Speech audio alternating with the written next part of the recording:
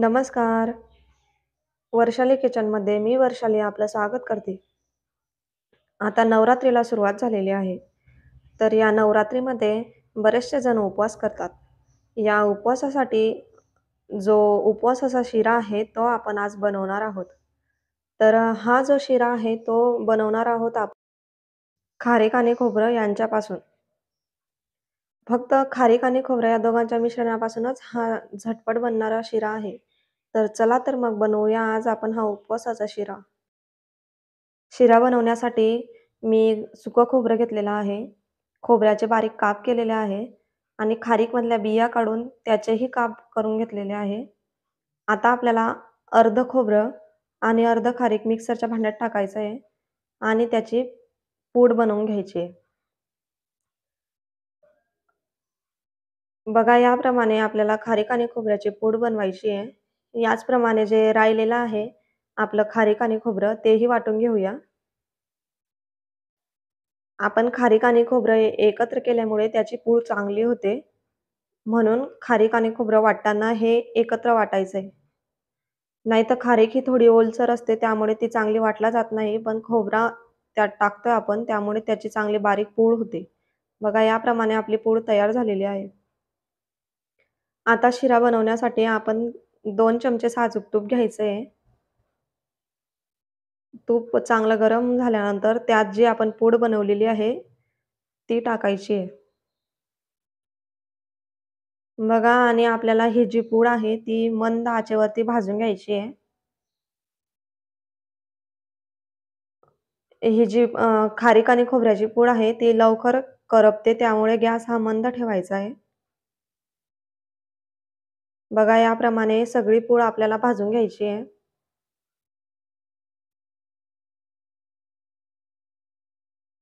खारीक आणि खोबऱ्याची पूड ही चांगली भाजल्यानंतरच त्याची चव चांगली लागते. त्यामुळे भाजायला थोडा वेळ लागतो. पण खायला हा शिरा अगदी छान लागतो आणि झटपट होतो. आपण एका गॅसवरती पाणी गरम करत ठेवलेलं होतं. आता आपल्याला या शिऱ्यामध्ये गरम पाणीच घालायचे बघा यात चांगलं पाणी घालायचं आहे पाणी थोडं जास्तच घालायचं आहे कारण आपल्याला जी खारीक आहे आणि खोबरं आहे ते शिजू द्यायचं आहे यामुळे पाणी थोडं जास्तच घालायचं. याप्रमाणे सगळं मिश्रण आपल्याला एकजीव करून घ्यायचं आहे बघा शिरा छान शिजतोय आपला. तुम्ही यामध्ये पाण्याच्या ऐवजी दूधही वापरू शकता. दुधाने तर चव अगदी छान लागते. पण मी आज पाणीच वापरलेलं आहे. मी दूध न वापरता थोडी साय वापरणार आहे. कारण सायमुळे ही चव छान लागते. आता यात थोडासा गूळ घालायचा आहे गूळ अगदी कमी घालायचा आहे कारण खारीक ही ऑलरेडी गोड असते. त्यामुळे गुळाचं प्रमाण हे कमीच ठेवायचं आहे मी साधारण एक चमचा गूळ घातलेला आहे.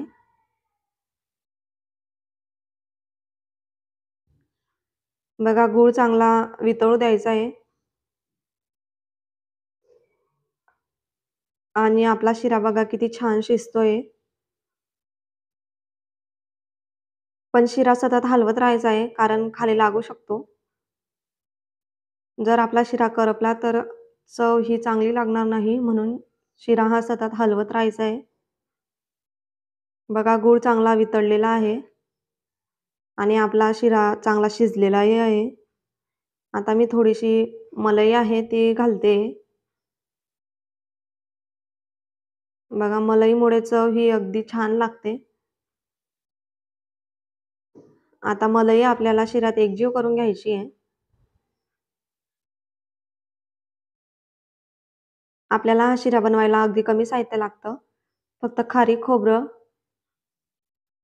पाहिजे आपल्याकडे तर आपण हा शिरा अगदी झटपट बनवू शकतो. जर तुम्ही खारी खोबऱ्याची पोळ बनवून ठेवली तर शिरा बनवायला काहीच वेळ लागत नाही. आणि खायलाही अगदी पौष्टिक आहे. आता आपला शिरा हा छान शिजलेला आहे. यात आपल्याला अजून एक चमचा साजूक तूप घालायचे बघा छान साजूक तूप घातल्यानंतर शिरा छान हलवून घ्यायचा आहे परत. मी यात गूळ वापरलेला आहे. तुम्ही गुळाऐवजी साखर वापरली तरी काही हरकत नाही. चवमध्ये काही फरक पडत नाही पण गूळ हा खायला चांगला असतो म्हणून मी यात गूळ वापरलेला आहे. बघा आता आपला शिरा तयार झालेला आहे. अगदी झटपट होणारा हा शिरा आपला आता तयार आहे.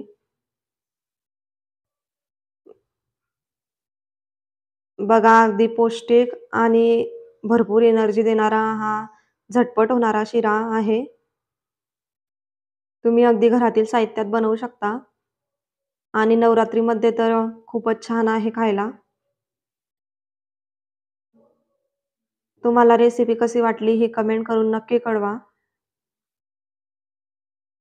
आणि चॅनलला लाईक करा शेअर करा आणि सबस्क्राईब करा. बेल आयकॉनचं बटन नक्की दाबा म्हणजे तुम्हाला अशाच नवनवीन रेसिपींचे नोटिफिकेशन येतील. मस्त खा आणि स्वस्त राहा.